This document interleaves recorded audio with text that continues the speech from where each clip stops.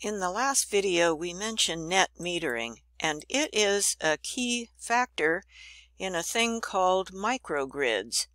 Microgrids are small local versions of the big grid.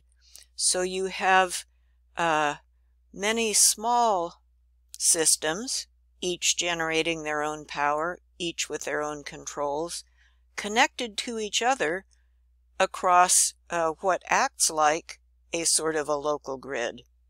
And these are becoming more and more common as we have more and more renewable energy and distributed power sources. They act like uh, virtual power plants, if you will. And these microgrids that are connected in networks of networks are like um, a mathematical phenomenon called the scale-free network. That is uh, just a fascinating field of study. So the internet across the globe is a scale-free network with people connected to each other and uh, nobody in charge. Scale-free networks are found throughout the world. Uh, human brain cells are scale-free networks the networks of um, mushroom threads in the soil, mycorrhizal networks, are scale-free networks. And even in galaxies and uh, clusters of superclusters of galaxies connected by filaments, those are scale-free networks. They are really everywhere, as the name implies, at all scales. They're scale-free. So anyway, that's how distributed um, microgrids work. The power generation happens near the customer. So you might have a store with your own solar panels. You might have a house with your own solar panels. You might have a community wind farm generating power for your town. And you also have forms of storage because some of these systems, like solar systems, um, produce DC power and they need battery storage. Even the wind farms, wind doesn't blow all the time. So when the wind's not blowing, you need that power to have been stored in batteries so you can call upon the storage when you need it. And then there are controls that pull all this together. When you have sensors and what you call intelligent controls, you have what's called a smart grid.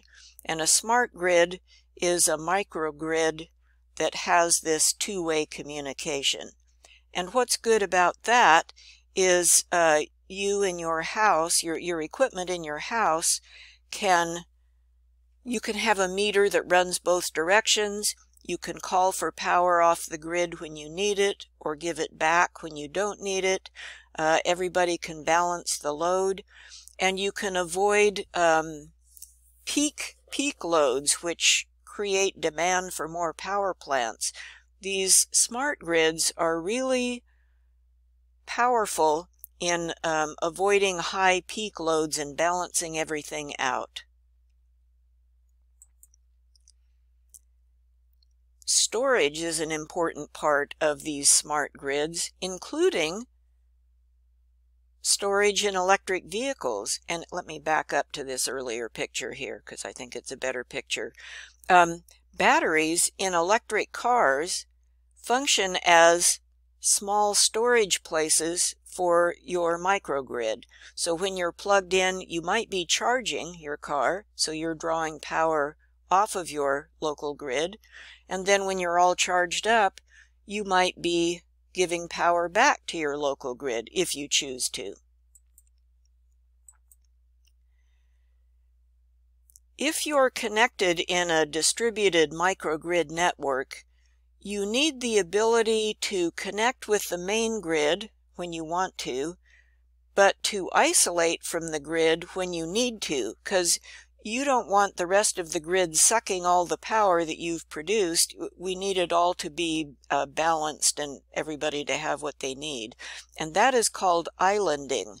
Islandability means you can separate from the main grid if you need to.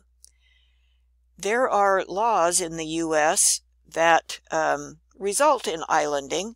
There are electrical standards. IEEE has written a standard here that establishes islanding for distributed microgrids.